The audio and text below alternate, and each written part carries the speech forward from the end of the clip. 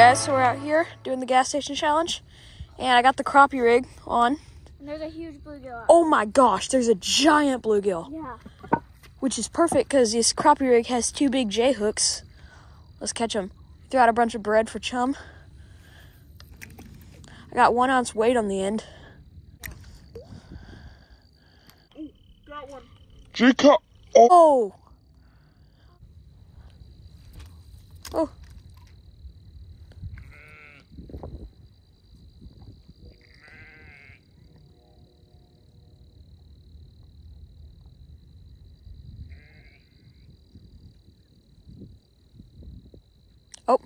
got a bite. Oh. Oh, I have one. I caught one. Yes. Oh my gosh, it's a good one. Yes, on the gas station rig. Let's go. This orbital flap on this side is kind of faded. Oh, there we go. Look, the orbital flap right there. The ear, basically. Like on this side, it's all good, but this side's. He's got the cheese. Oh, he just threw up the cheese. And I just hooked my hoodie. Eating. Oh my gosh. I got one. I got one. I actually got one. It's a, I think it's, it's a, it's a huge bluegill. Yes! Look how beautiful this thing is. Dude, this thing is beautiful.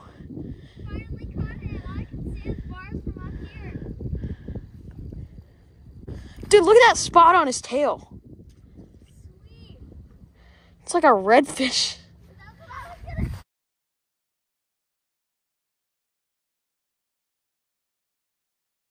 Just hooked up to a big catfish. Oh my gosh.